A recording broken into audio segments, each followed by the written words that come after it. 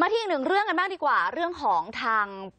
เดินจักรยานทางปั่นจักรยานไบค์เลนเนี่ยโอ้โห เมื่อวานก็เป็นข่าวกันไปแถวจตุจักรนะคะ ล่าสุดมีอีกหนึ่งกรณีอันนี้อยู่ที่อุดรค่ะ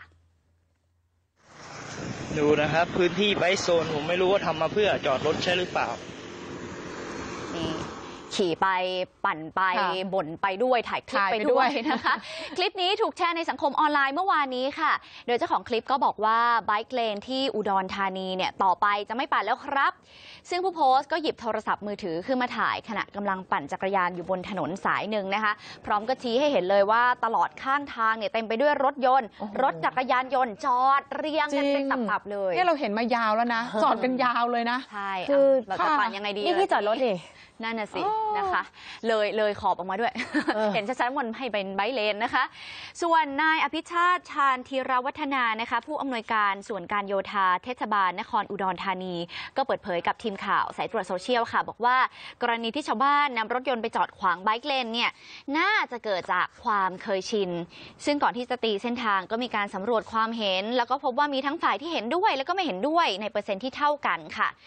แล้วก็ก่อนหน้านี้ทางเทศบาลมีการออกเตือนประชาชนไม่ให้จอดรถขวางทางแล้ว แต่ว่าก็ยังมีการเข้าไปจอดกันตามปกตินะคะ ก็เลยทำได้เพียงแค่ให้สังคมเนี่ยช่วยตักเตือน เนื่องจากปัจจุบันยังไม่มีกฎหมายข้อบังคับ ลงโทษผู้ที่กระทำให้เกิดความลำบากแก่ผู้อื่นค่ะ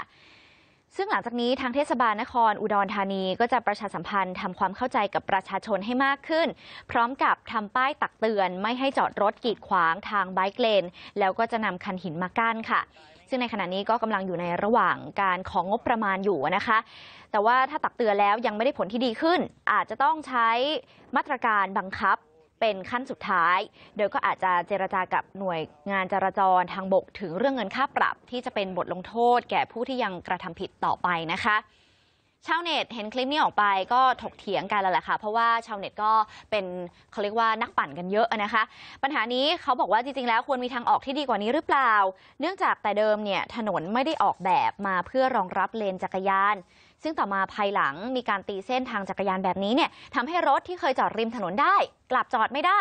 ร้านค้าและธุรกิจเหล่านั้นจะอยู่รอดได้อย่างไรนะคะ ก็เป็นอีกความคิดเห็นหนึ่งของชาวเน็ต ซึ่งปัญหานี้ชาวเน็ตก็เชื่อว่ามีทางออกค่ะ บางรายก็ยกตัวอย่างถนนเพชรเกษม ช่วงอำเภอหัวหินจังหวัดประจวบนะคะ ซึ่งก็มีการตีเส้นจราจรช่องทางรถสองล้อ ถัดจากฟุตปาดมาหนึ่งช่องจราจร